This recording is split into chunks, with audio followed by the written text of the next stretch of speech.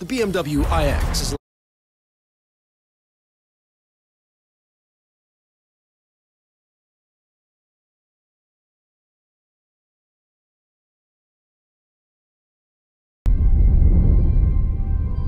When PS5 debuted in 2020, it brought a lot to the table.